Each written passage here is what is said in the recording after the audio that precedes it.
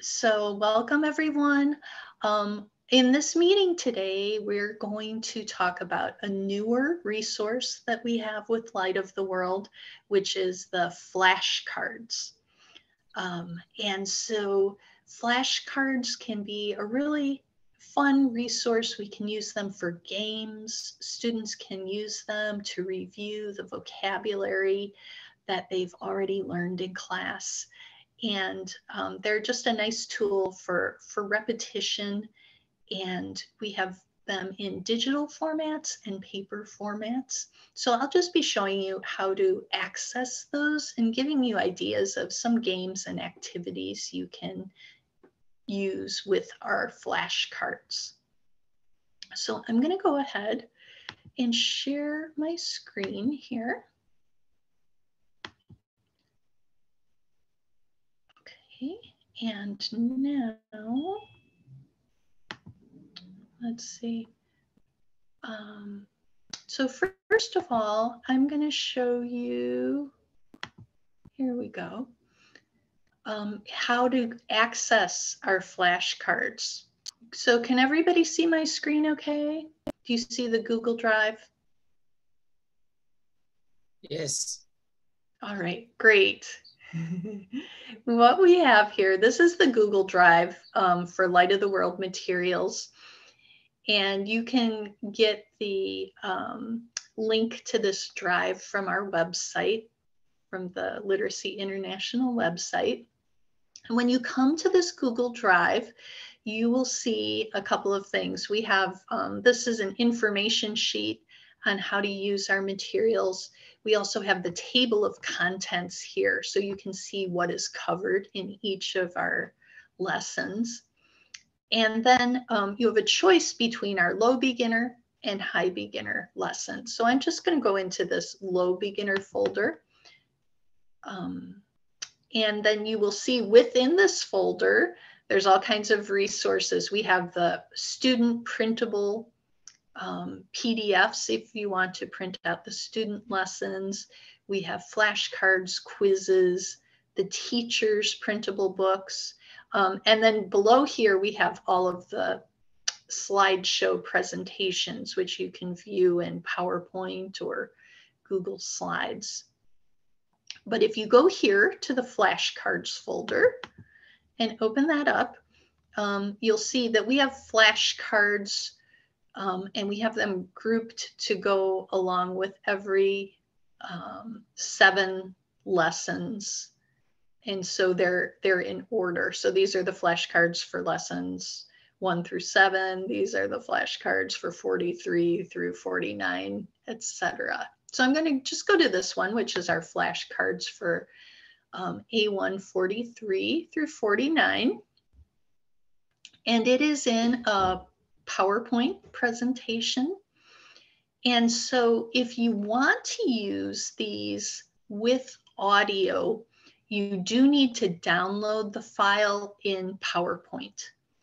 Um, if you're just going to print them on paper, it doesn't matter. You don't need to do that. But for the audio to function on the digital flashcards, you'll have to download it in PowerPoint. And the way you do that is just go to File, Download, and then um, click on Microsoft PowerPoint. If you don't have PowerPoint, you can get it for free. Um, so it is, it is available to everyone. And then once you're in um, PowerPoint, you'll you'll go to the slideshow mode. You will see, oops, I'm not in PowerPoint, so that's why it's giving me that message. Um, you'll click to hear the audio. You'll click again to see the word. And let me just show you um, what these cards look like. So if we view this in slideshow view, um, at first you just see the pictures, right? And so one way we can use this as a review with our students is just to show them this and ask them to tell us what is each picture. And so if they um, know the word, they can say it. For example, this first one is a backpack. And these are the same pictures that are used in the books. So they should be familiar with them because they've already gone over this vocabulary. What you can do then, um, once if you're in PowerPoint, is if you click the audio icon will speak the word and the narrator will say a backpack. And so this is something you could use for um, spelling tests. So you could have them see the picture um, and write the word. If they don't, if they're not sure what the word is, you can click again and it will say a backpack. And then if you click a third time, it shows you the word. And so they can see the word written out. And that'll be true for each one. So you can click it once um, and it'll say a chicken, and then you'll see the word a chicken. So you have control over whether they just see the picture or they see the picture and hear the sound, or they have this uh, picture, the sound, and the word. And so I like to use those with my students either as a um, quick exercise where we just have them say the words to review them, or you can, again, use it as a writing exercise and have them write the words. They can also do this at home by themselves um, to practice. So that's one way you can use the, the digital flashcards and they can practice their pronunciation as well as um, knowing how to write the words. The other thing you can do is print these out and make paper flashcards, old fashioned paper flashcards, which are um, very fun and versatile. So to do that, um, you would just, depending on your, your program, usually you go to file and then print and then it's going to ask you like how you want to print it and what you're going to do um, is print one slide per page landscape view. And let me go back just for a moment. So I'm going to stop sharing my screen so you can see. Um, once you print these, they're going to look like like this. So it's it'll just be a sheet of paper. Um, you can print them black and white. If you have a color printer, you can print them in color, which is nicer. The black, sometimes I'll print them in black and white and then let the students um, color them in to give them a little bit of color and interest. And then after you have um, printed them on paper, you can just cut them with scissors into little strips like this. And then take the little strips, oops, I think that one's upside down. Take the little strips, fold them in half. And if you want, you can um, attach, so I've folded it, taken a strip, I've folded it in half. You can just put a little piece of tape or glue or even a staple on top there. Um, the nice thing, if you're using regular paper and you you do them this way, because it's um, two two sheets thick instead of just one, they can't see through to see the words. So um, that makes it a little bit um, more challenging for them to guess although seeing the word backwards through the paper gives them a bit of a clue, but not too much. Uh, you can also, if you want, you could print these on cardstock. And if you prefer, instead of having them double-sided with the word on one side and the picture on the other side, you could cut them out individually and have the words and the pictures separate. And that's a good way to do it if you're playing a matching game like concentration, where they have to find the word, find the picture, and put them together. So um, very simple to use. We just wanted to have that, that resource available to um, make it easy for you guys to make your your flashcards. Some teachers have been making their own by copying the images from the PowerPoints and and putting them into um, a document. And you can do it that way as well. But this will this is a little bit of a time saver. Um, all right. So let me open it up, see if you guys have any questions so far before I go into showing you some examples of games. Anyone have a question?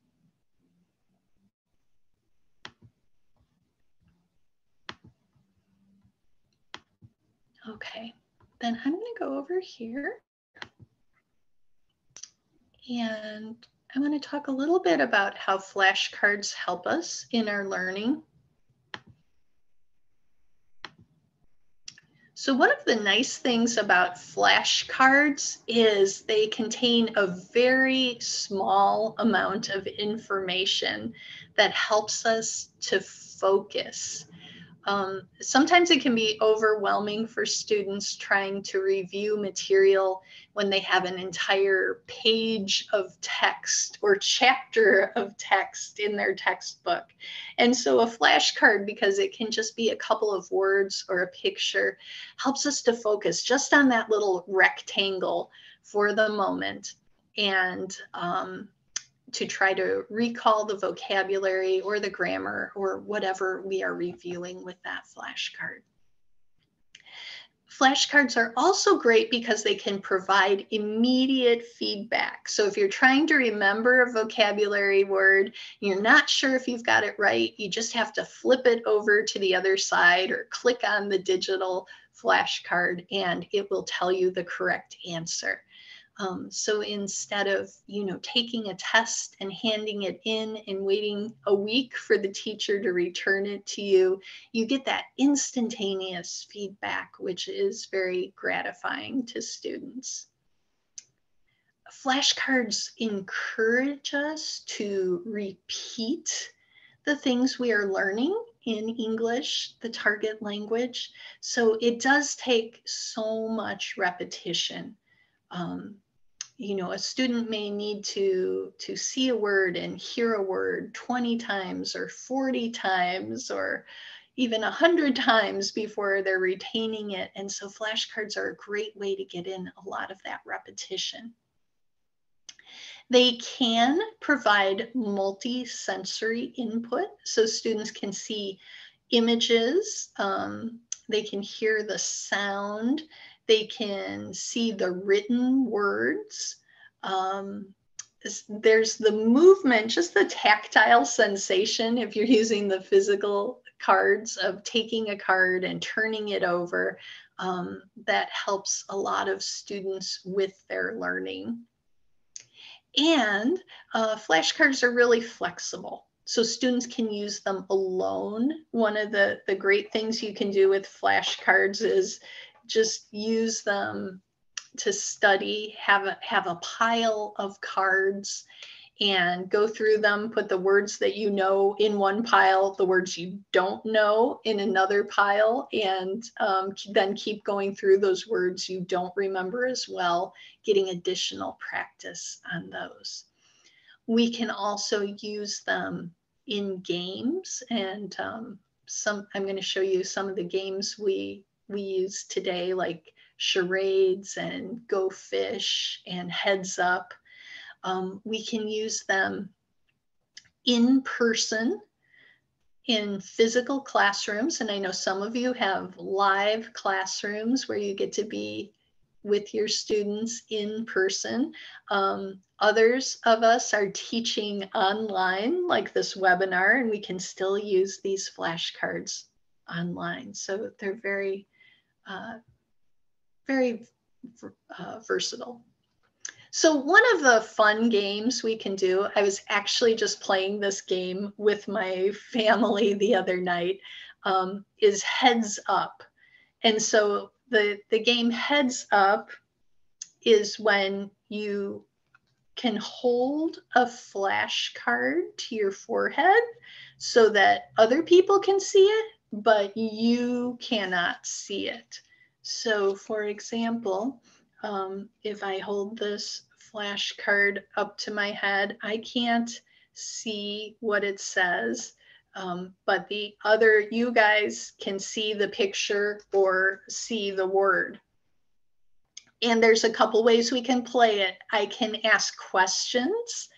Um, so sometimes we'll we'll tell students, okay, you can ask five questions. So I can ask, am I a person? Or am I an animal? Or um, am I uh, an object? And then by the answers of the questions, I can try to guess what I am. Another way we can play it is, is with, with a team that's trying to help us by just shouting it out and saying, um, you know, you are an activity, you are a game, you are, etc. Trying to give clues without using the target word.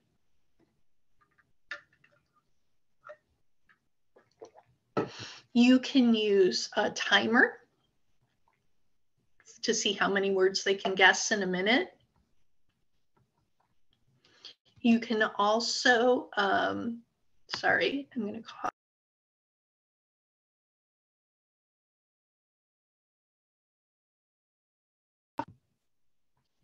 You can also um, have a, a game where you're acting out words or just giving definitions or um, they're not allowed to use their target language to translate. So there's there's a number of different variations.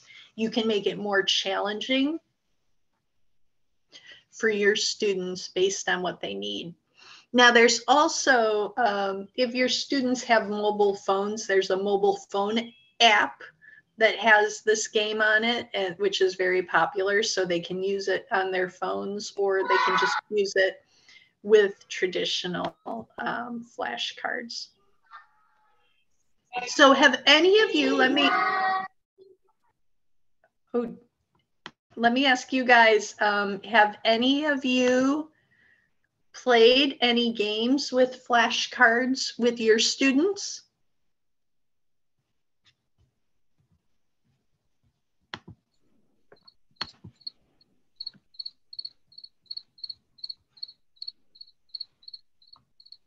No, I hear crickets, literally. we played a game that we we didn't use the flat cat teacher. Okay, all right. And what yeah, game did you we play, were, Zion? Yes, we play um, many games in the classroom, teacher. Actually, mm we play like um, bingo, something like that, you know. Mm -hmm. uh, but we never used the flat cat before, but uh, I would like to try. Yeah. Yeah, bingo is another um, great game that we we can play a lot in the ESL classroom. I, I love to use that to review vocabulary and grammar as well. Nice. Also... Tanya. Oh, um, uh, I hate to say the word, but anyhow, uh, hangman, mm-hmm. where they have to ask for, you know, you put the, the number of lines up there and then they, they guess letters. And then once, if they guess the right letter, then they get to put it up, you know, on that and they try to guess the word. Yeah, that's also a fun one.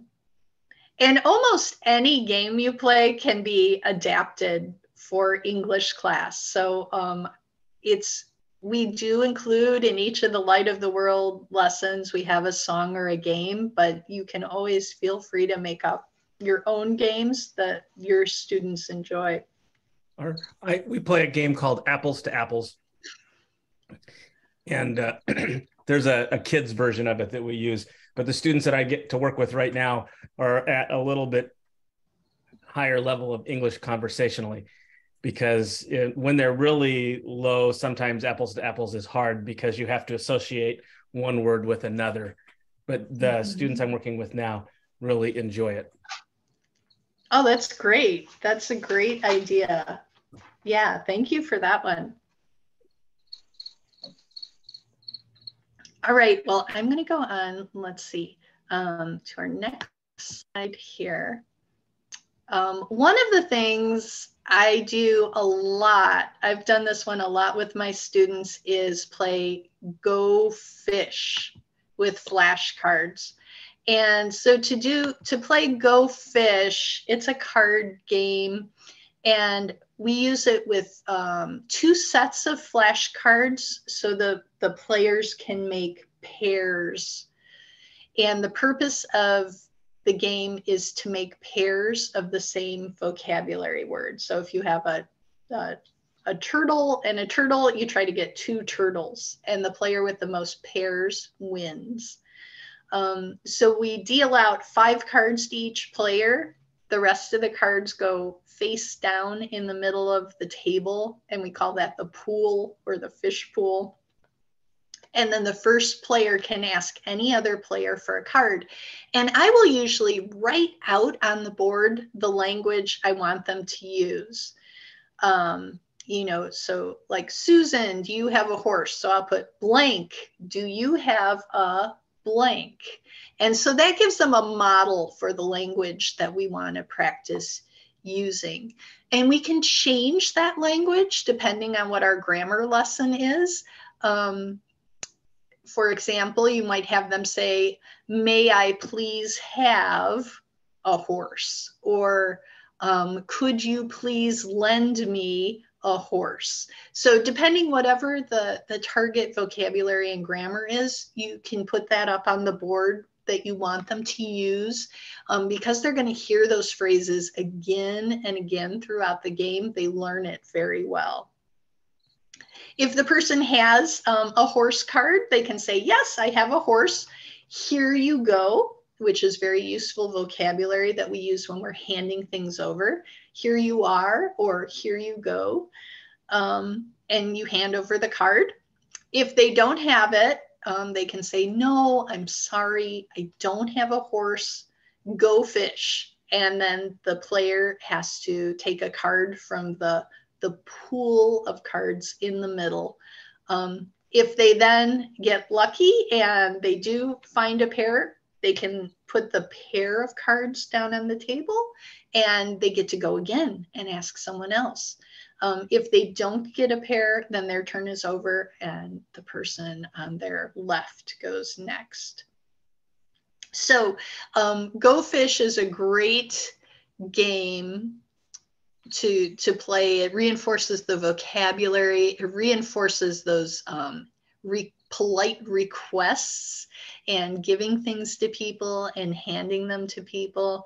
Um, and so that's a fun game that we can play. A lot of times i'll put a timer on it because it um, you know depending how much class time you have you might just say okay we're going to play go fish for 10 minutes. Whoever has the most pair and the most pairs in 10 minutes wins because otherwise the game can go on for a long time if you have a lot of cards.